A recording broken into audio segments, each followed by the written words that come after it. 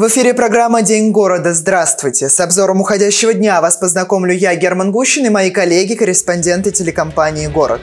Главные темы дня. Живая изгородь у вокзала. Сотрудники дирекции благоустройства и студенты аграрного колледжа высадили кустарники спиреи. Антимонопольное око. На общественном совете УФАС говорили об электричестве и ценах на продукты. Кликбейтная премьера. На сцене драматического театра представили спектакль с резонансным названием. Студенты аграрного колледжа приняли участие в месячнике по благоустройству и санитарной очистке территории в Рязани. Вместе с командой из дирекции благоустройства города они высадили живую изгородь в сквере возле вокзала «Рязань-2». Новые растения аккуратно погружаются в грунт и засыпаются руками студентов из Рязанского аграрного колледжа имени Героя Советского Союза Николая Комарова. Когда подрастут, эти кустарники будут живой изгородью зеленой зоны. У нас продолжается месячник по посадке деревьев и кустарников. Сегодня мы высаживаем в сквере возле вокзала Рязань-2 спирею. Спирея у нас будет э, двух видов. Это калина-листная и ива-листная. Спирея неприхотливый кустарник. Она легко приживается, отличается продолжительностью цветения, э, легка в обрезке и уходе. Дирекция благоустройства города продолжит озеленение города до середины ноября. Растения высаживаются практически каждый день. И сегодня молодые ребята при поддержке администрации Рязани имели возможность на практике узнать что-то новое и поделиться своими предпочтениями насчет дальнейшего озеленения города. Научиться правильно сажать, там вот это все поливать. И для Рязани, чтобы все было красиво. Ну, наверное, побольше пышных кустарников. Это очень красиво. Это большой опыт для меня в учебе. Учиться правильно сажать деревья, кусты, а, правильно работать э, с таким оборудованием. Сейчас самое время для посадки кустов и деревьев. Погода создает самые благоприятные условия с наибольшей приживаемостью растений. Сразу после посадки э, у нас идет полив обязательно, чтобы кусты лучше прижились. И э, иногда обрезка. В ближайшее время будут высажены липы в сквере на Соборной, на зеленой зоне возле Рязани 2 и э, на улице Грибоедова. Соседние кустарники были посажены в прошлом году. Они отлично прижились. Дирекция благоустройства города продолжит наблюдать за новыми саженцами, чтобы они радовали глаз рязанцам и давали дополнительный кислород. Анна Герцовская, Михаил Лазуткин, телекомпания «Город». Новый документ о развитии конкуренции до 2025 года стратегически важный. В нем должны быть обозначены основные приоритеты в сфере антимонопольного законодательства, чтобы качественнее стали и товары, и услуги, и благосостояние граждан. Об этом говорили сегодня на общественном совете при УФАС по Рязанской области. Кроме того, на совете говорили об электрическом подключении частных домов и отдельно о контроле за ростом цен на продукты. Новый план развития конкуренции до 2025 года, который в Рязанском УФАС ждут из Москвы, это своеобразная дорожная карта, перечень приоритетных для федерального центра рынков. По этому документу и будет теперь работать служба. Кстати, по предыдущему сценарию число нарушений антимонопольного законодательства органами государственной власти удалось снизить вдвое. Сработала самодисциплина. Достижение этого показателя было обусловлено внесенными Э, в закон о защите конкуренции изменениями, которые позволили по предупреждению антимонопольного органа а, органам а, публичной администрации, назовем их так, самостоятельно устранять а, нарушения антимонопольного законодательства без каких-либо процедур. То есть без процедуры возбуждения дела о нарушении антимонопольного законодательства, которое достаточно длительный характер имеет, и в случае выполнения такого рода предупреждений в добровольном порядке должностные лица этих органов не подлежат а, привлечению к административной ответственности. Еще одна важная тема, судя по обращениям в УФАС, подключение электричества в частном секторе. Нарушение сроков технологического подключения, навязывание установки приборов учета. С прошлого года покупать счетчики – это задача сетевых организаций. Заставлять вас покупать их за свой счет незаконно. Впрочем, есть здесь еще подводные камни. Потребитель начинает замечать, что показания приборов учета, которые мне принадлежат, странным образом себя ведут. Они, по их мнению, завышены. И потребитель как бы сделать уже ничего не может, потому что доступ у него, хотя он должен быть, к электросчетчику, но он как бы отсутствует, а сетевая компания выставляет очень большие платежи, поясняя, что ну, вот, есть прибор учета, вот мы сняли показания. И здесь со стороны сетевой компании тоже могут быть злоупотребления. До Рязанской области это еще не дошло, а у других субъектов Российской Федерации вот, есть такие жалкие потребители. То есть мы в курсе тоже будем за этим следить. Тема роста продуктовых цен на общественном совете всегда тема номер один, вне зависимости от повестки. Вот и на этот раз обсуждение было бурным. Недавний скандал с главными продуктовыми ритейлерами получил продолжение. Мы усилили свой контроль за ценами, и э, в итоге в сентябре было возбуждено дело о нарушении антимонопольного законодательства в отношении двух крупнейших наших торговых сетей. Это «Магнит» и «Пятерочка». И в рамках этого дела мы более детально посмотрим, насколько обоснованно эти торговые сети устанавливали цены на овощи, картофель, морковь, лук, а, капусту в летний период. Каждый раз, когда цены увеличиваются, антимонопольный орган об этом знает. У нас есть и собственный мониторинг, поэтому э, все это позволяет нам оперативно реагировать и направлять своевременно запросы, смотреть, насколько обоснованно в той, в той или иной сети э, выросли торговые наценки. Вопрос взаимодействия торговых сетей и поставщиков под пристальным надзором УФАС. Бешеных скачков цен не будет. Служба за этим проследит отдельно. Максим Васильев, Анна Герцовская, Михаил Лазуткин, телекомпания «Город».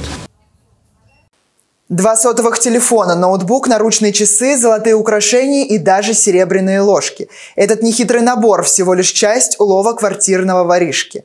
За сутки он ограбил сразу два жилища и нажился на забывчивых хозяевах. Как его удалось поймать, расскажем далее.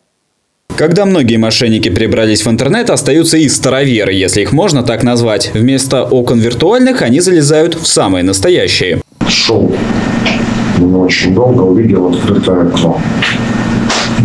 Залез в него, там похитил женскую сумку.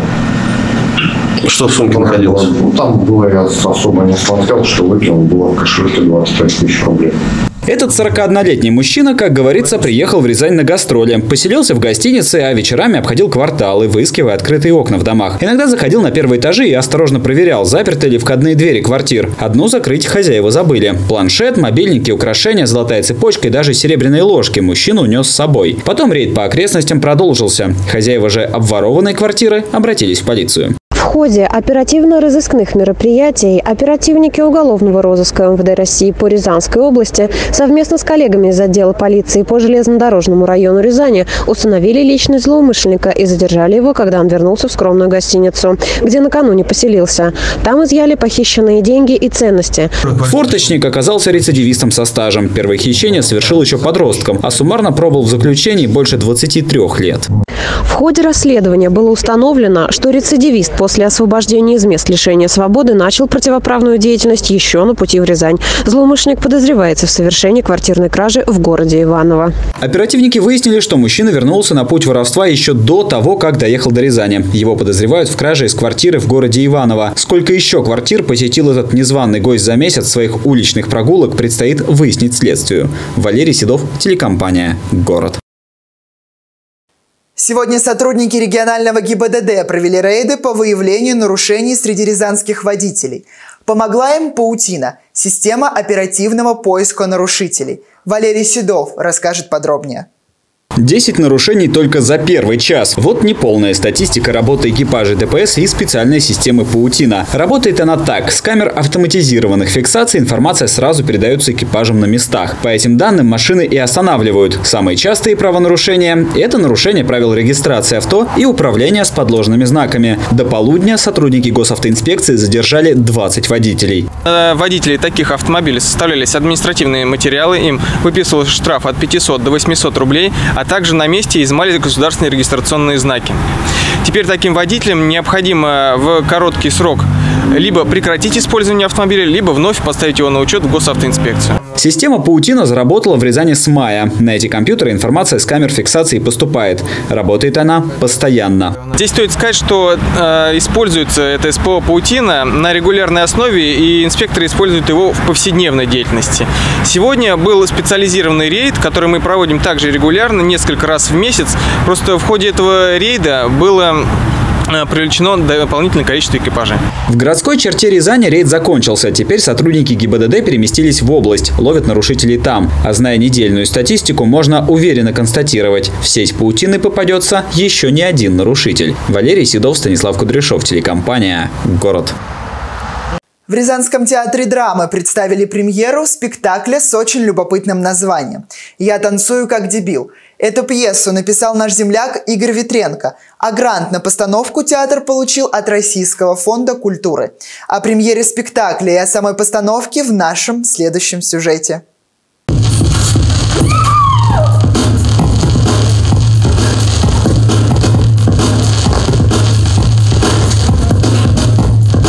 В этой постановке, кажется, все подчинено известной тургеневской теме отцов и детей.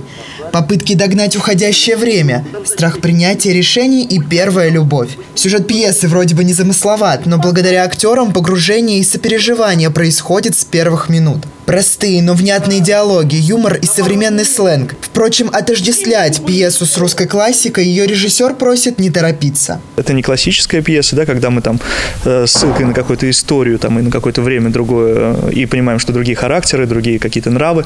Здесь просто люди, которые окружают нас. И мне кажется, вот эта простота, она, с одной стороны, должна привлекать внимание, а с другой стороны, она и сложна э, для того, чтобы быть достоверными, потому что судить о том, как было это во времена Чехова, Островского, да, и других классиков, мы все равно делаем какую-то скидку, а здесь все рядом с нами, можем всегда проверить, так ли люди общаются, так ли они действительно влюбляются, так ли они эм, переживают из-за своих чувств, поэтому, в общем-то, и сложно, и просто. Вот такая история.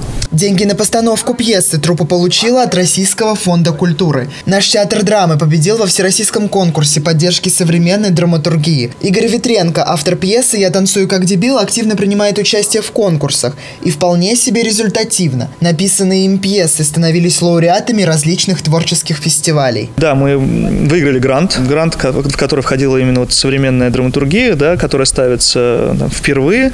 Вот. И для нас это важно, потому что мы мало того, что выиграли этот грант, это еще и пьеса нашего земляка Рязанца, да, Игоря Ветренко. В общем, мы как бы попали э, в какую-то хорошую волну, и так как нам еще, да, что мы выиграли грант и дали такую возможность э, на средства гранта реализовывать эту постановку, тоже хорошая подспорье, и мне кажется, многое, что мы себе смогли позволить, да, в такое не самое простое для нас время пандемии и каких-то урезанных финансов 50% зрителя, когда очень сложно театрам а, в это время, потому что там полгода вообще были без работы, да, и понятно, что какие-то проекты реализовывать, особенно такие крупные, с определенным количеством техники, это сложно. И грант, конечно, здесь очень помог. Один из современных театральных методов вовлечения – это когда зритель наблюдает за действием фактически прямо на сцене. Спектакль «Я танцую как дебил» на протяжении всего короткого театрального сезона до середины зимы будет в репертуаре театра. Времени вполне достаточно, чтобы пьесу оценили поклонники драматургии. Герман Гущин, Михаил Лазуткин, телекомпания «Город». Эпидпорог по ОРВИ в Рязанской области превышен более чем на 31%.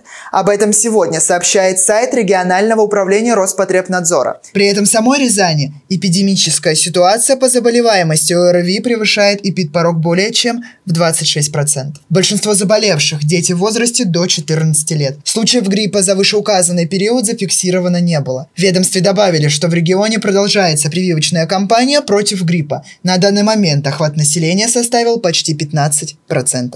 Ну, в первую очередь, конечно, человек, если он заболевает, он должен остаться дома, не ходить ни на работу, ни на учебу, чтобы и себя защитить, и окружающих. И вызвать врача на дом. Это в первую очередь. Ну, обязательно соблюдение постельного режима, соблюдение питьевого режима, то есть он должен огромное, большое количество жидкости теплой выпить, или щелочное питье, или компоты, морсы, там, травяные чаи. И начать прием противовирусных препаратов, конечно, по назначению назначению врача. На этом у нас все. Еще больше новостей на нашем сайте город62.тв и на наших страницах в соцсетях. Всего доброго!